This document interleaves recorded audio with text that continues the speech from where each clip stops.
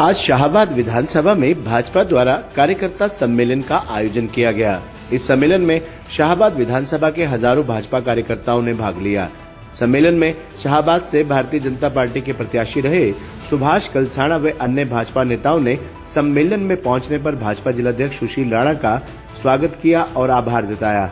सम्मेलन में विधानसभा चुनाव परिणामों को लेकर चर्चा हुई और अनेक पदाधिकारियों ने अपने विचार भी रखे।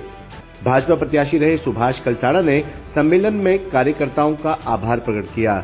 इस सम्मेलन में मुख्य रूप से जिला अध्यक्ष सुशील राणा, प्रदेश मीडिया पैनलिस्ट रविंदर सांगवान शाहबाद से भाजपा प्रभारी रहे धुम्मन सिंह किरमच, भाजपा प्रदेश कार्यकारी सदस्य बीबी करतार कौर शाहबाद मंडल अध्यक्ष मुलकराज गुम्बर दर्शन राणा, सुरेंद्र जैन, राहुल शर्मा सहित असंख्य कार्यकर्ताओं ने शिरकत की और बहुत से वक्ताओं ने अपने विचार भी रखे।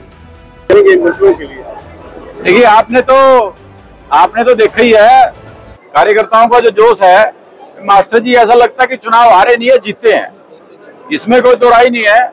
मैं थोड़ी सी नैतिक जिम्मेवारी में लेता हूँ, जो जिस तरह की व्यवस्थाएँ हमने करनी चाहिए थी, उसमें थोड़ी चूक हुई है।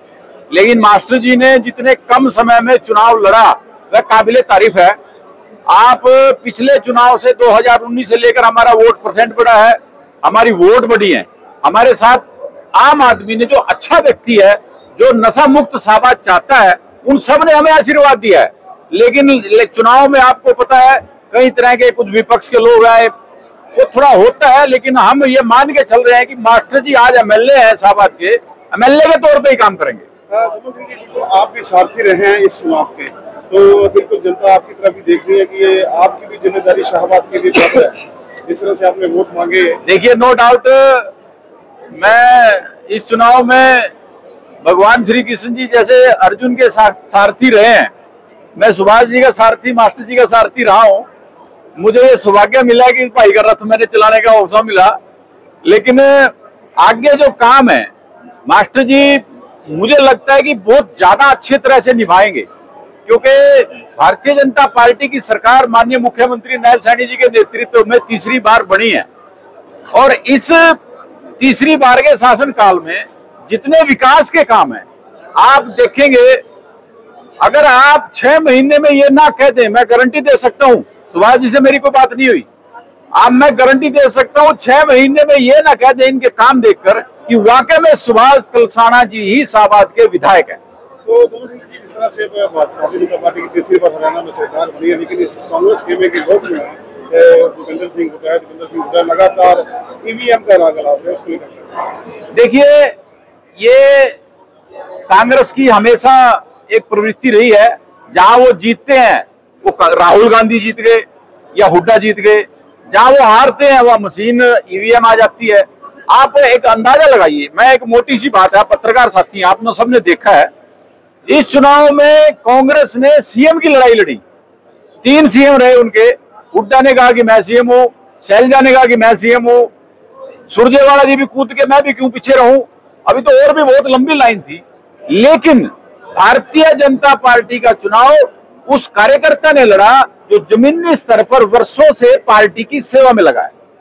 कितना फ़र्क हुआ? वो लोग सीएम की लड़ाई लड़ते रहे, हमारा कार्यकर्ता चुनाव की लड़ाई लड़ता रहा कमल के फूल के लिए। ये बड़ा, बहुत बड़ा डिफरेंस दोनों पार्टियों में इस चुनाव में देखने को मिला है।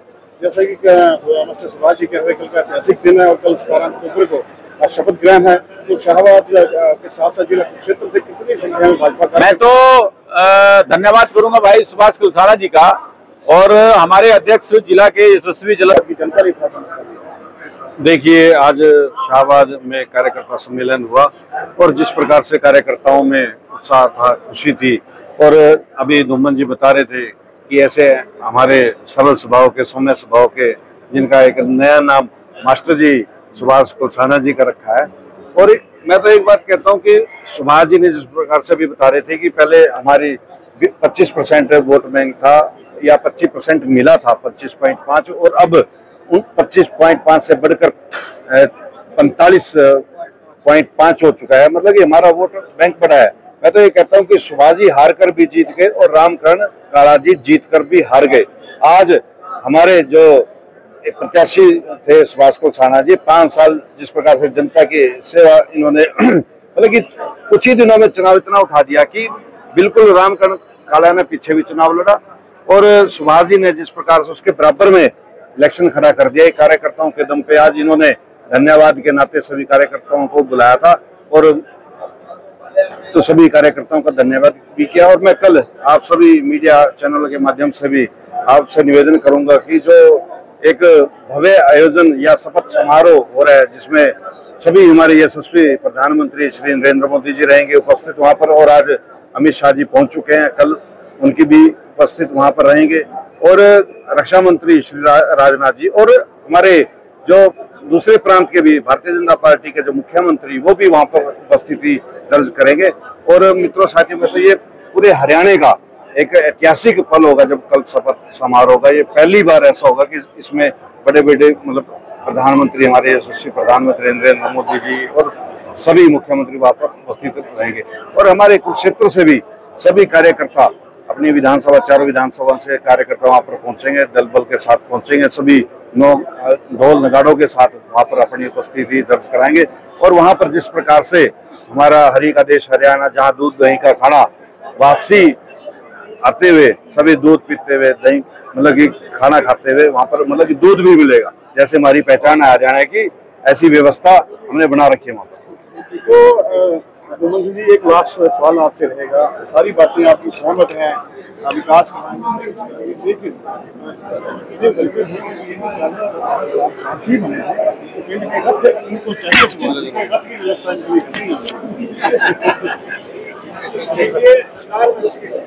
आप जब कोई भी उम्मीदवार अपने के ग्रुप चुनाव लड़ता है तो पार्टी एक तरह से उसको रथ देकर ही भेजती है।